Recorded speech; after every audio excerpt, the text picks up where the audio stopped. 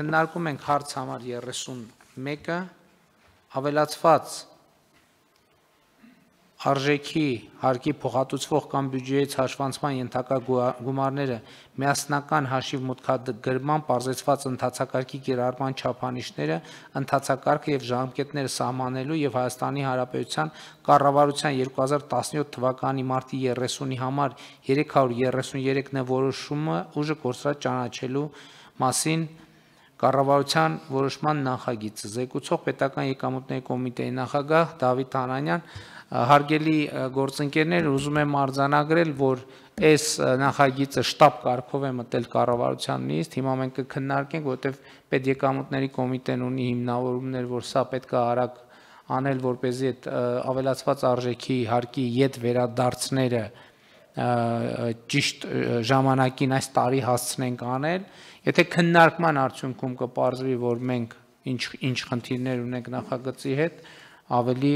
մանրամասն քննարկենք, եթե եթե չէ, այսօր կընդունենք։ Խնդրեմ, պարոն Անանյան։ Շնորհակալություն մեծարգո վարչապետ, հարգելի գործընկերներ։ Նախորդ կասեմ, որ չնայած հրատապությանը մենք հասցրել ենք ֆինանսների նախարարության հետ եւ էկոնոմիկայի նախարարության հետ աշխատել, ֆինանսների նախարարության կողմից ներկայացված բոլոր առաջարկություններն ընդունվել են եւ եւ ամբողջություն ամբողջությամբ այս նախագծի մեջ ներառված են։ Դերևս մենք ուղարկել ենք արտադրության նախարարություն երեք ենք, եթե չեմ սխալվում, ուղարկել չունենք արտադրության նախարարության բնականաբար չէին հասցնի, ուղակի փորձագիտական եզրակացություն որպես իրավական ակտի, պիտի խնդրեմ, որ եթե հավանության արժանանա, պարոն Բադասյանի խնդրենք արագ կարգավորի միջև հրապարակումը։ Ֆունդամենտալ առումով ըստ էության սա եթե հիշում եք, սա ավելացած արժեքի հարկի դեբետների վերադարձման մենք ընտրել էինք օրենսդրությամբ հաստատեցինք արդեն հարկային օրենսգրքի փոփոխություններով, որը ուժի մեջ է մտել հոկտեմբերի 10-ին 2019 թվականի հոկտեմբերի 10-ին այն օրենքը, որով որ փոփոխություններ են իրականացվել հարկային օրենսգրքում։ Եթե հիշում եք, մենք միջև 5 միլիոն ավելացած արժեքի հարկի դեբետներ, իսկ դրանք այն գումարներն են, որոնք որ նախորդ ժամանակաշրջաններում հարկ վճարողները մատակարարներին վճարած եւ մաքսային մարմինների կողմից գանձված ավելացարժիքի հարկի ճակերտավոր ասած գերավճարները կամ ավել վճարված գումարները հնարավորություն չեն ունեցել հետ հետ ստանալ դրանք նախկինում ուղղվել են միայն ավելացած արժեքի հարկի գծով առաջիկայում առաջացող հարկային պարտավորությունների մարմանը մենք 3 խմբի ենք բաժանել, միջև 5 միլիոն դրամ, 5-ից 40 միլիոն դրամ եւ 40 միլիոնից բարձր։ Առաջի խումբը միջև 5 միլիոն դրամ դեպետային գումարներ ունեցողներին շուրջ 2000 2006 հարկ վճարողներ, պարոն վարչապետ, դուք Facebook-յան գրառում եք կատարել այդ թեմայով, 1.5 միլիարդ դրամ ստացան, դրանք այն շահառուներն էին, որոնք առանց դիմում ներկայացնելու եւ առանց ստուգում կամ ուսումնասիրություն իրականացնելու 2006 տնտեսարող սուբյեկտ 3 չառաջորը ստացան 1.5 միլիարդ դրամ գումար։ 40 միլիոնից բարձր դեբետային գումարներ ունեցողները այսօրվա դրությամբ 21.3 միլիարդ դրամի դիմումներ ներկայացված են, մենք սկսել ենք ուսումնասիրությունը, արտագնա ուսումնասիրությունները, որոնք կարծում են, որ այս ամիս մենք շուրջ 20 միլիարդ դրամ հետ ենք վերադարձնելու 40 միլիոնից ավել պարտավորություն ունեցողների համար։ Կառավարության այս որոշումը, որը որ բերել ենք ձեր քննությանը, սա 5-ից 40 միլիոն այդ շեմում գտնվող հարգվճարողների համար բարձեցված ընթացակարգով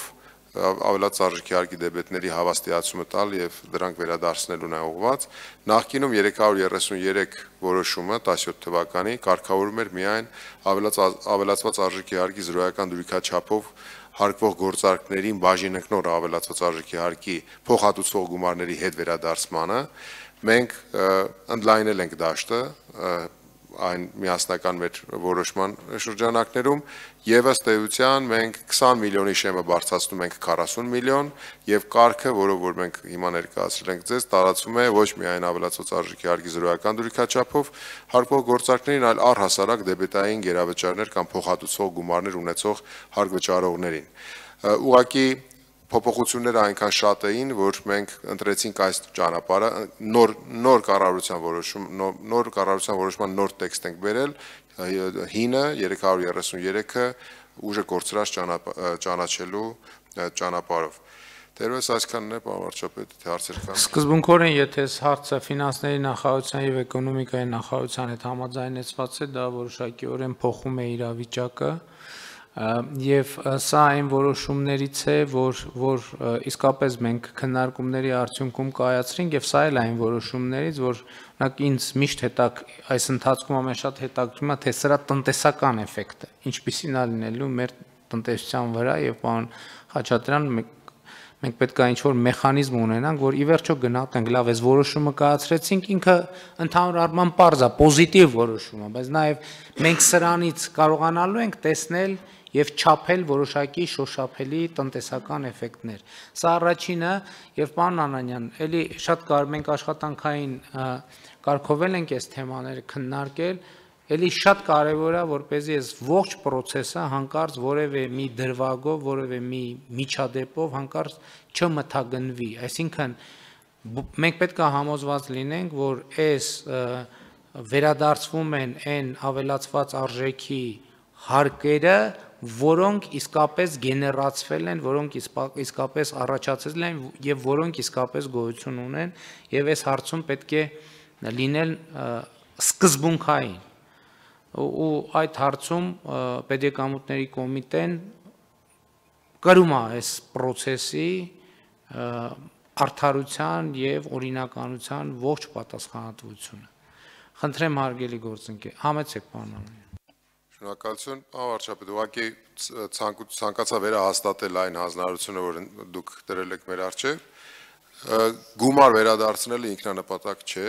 եւ մենք պետք է վերադարձնենք միայն այն պարտքը, ինչ որ պետությունը ունի հարկ վճարողի հանդեպ, ստուգելու ենք հիմնավորելու եւ դրա հիմնավորվածության արկայության պարագայում նոր մենք վերադարձնելու ենք։ Այսինքն հստակ պահպանելու ենք այն օրենսդրական պահանջը, ինչ որ դրված է պետական եկամուտների կոմիտեի արչեւ։ Շատ լավ։ Հարցեր։ Խնդրեմ, պարոն Օջան։ Շնորհակալություն, պարոն Անանյան, դուք նշեցիք, որ ձեր գնահատականներով մինչև տարվա վերջ մոտ 20 միլիարդի չափով գումար պետք է վերադարձվի տնտեսվարողներին։ Արդյոք սա նշանակում է, որ մոտ եւս 20 միլիարդի պարտքի համար տնտեսվարողները դեռ չեն դիմել պետական եկամուտների կոմիտե։ Շնորհակալություն հարցի համար։ Երևի լավ չասեցի, 20 միլիարդ միայն այս այս ամիս։ Հոկտեմբերին 20 միլիարդ պլանավորում ենք, որ կվերադարձնենք, նոյեմբեր-դեկտեմբերին երևի թե եւս 20-22 միլիարդ կվերադարձնենք։ Սա գնահատականներ են, իսկ ընդհանուր շահառուների թվականակը մենք առիթ ենք ունեցել խոսելու գործող հարկ վճարողները, որոնք իրական շահառուներ են հանդիսանում 2571 հարկ վճարողներ են, որոնցից 183-ը ստուգմամբ եւ ուսումնասիրությամբ, այսինքն արտագնա ստուգմամբ պետք է հիմնավորվի ավելացարժեքի հարկի դեբետների արկայությունը, դրանք շուրջ 43 միլիարդ պարտավորության մասին է խոսքը։ Այսօրվա շահառուները այս կառավարության որոշման բարձրացված ընթացակարգով ավելացարժեքի հարկի գերավճարների փոխածող գումարների հետ վերադարձման իրական շահառուների շահառուների իրական թիվը շուրջ 500 կազմակերպություն է, մոտ 5 միլիարդ եւ շուրջ 2000 կամ 1000 մոտ 1900-ի չափով ու 2006 արդեն փաստացի մենք արդեն վերադարձել ենք 1.5 միլիարդ։ Մեր գնահատումներով եթե չեմ չեմ ուզում առաջ ընկնել, որովհետև կարող է ուսումնասիրության արդյունքում օրինակ այդ 43 միլիարդից մի մասը հիմնավորվի, մի մասը չհիմնավորվի, եթե օրինակ 35 միլիարդը հիմնավորվի, 35 գումարած այս 5 միլիարդ եւ 1.5 մենք մոտորապես ունենալու ենք 43-ից 45 միլիարդ հետ վերադարձման ենթակա գումար միջև տարվա վերջ։ Եվ ուզում եմ շեշտել, որ մեր նպատակը միջև տարվա վերջ այդ գումարները վերադարձնելն է, որպեսզի տնտեսական էֆեկտները հաջորդ տարի արդեն Երևան։ Խնդրեմ այլ հարցեր չկան հարցը դրվում է քվեարկության ովքեր են դեմ որոշման ընդունմանը դեմ չկա որոշումն ընդունված է